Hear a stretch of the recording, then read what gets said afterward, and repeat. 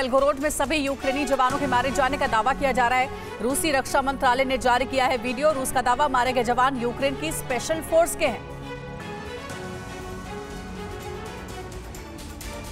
रूस यूक्रेन की जंग अब बेहद खतरनाक दौर में पहुँच चुकी है। रूसी सैनिक यूक्रेनी फौज पर ताबड़तोड़ हमले कर रहे हैं। रूस के बेलगोरोद में यूक्रेन की स्पेशल फोर्स के एंट्री करने के बाद रूस ने यूक्रेनी जवानों पर ताबड़तोड़ हमला बोला है, जिसमें यूक्रेन के कई लड़ाके मारे गए हैं।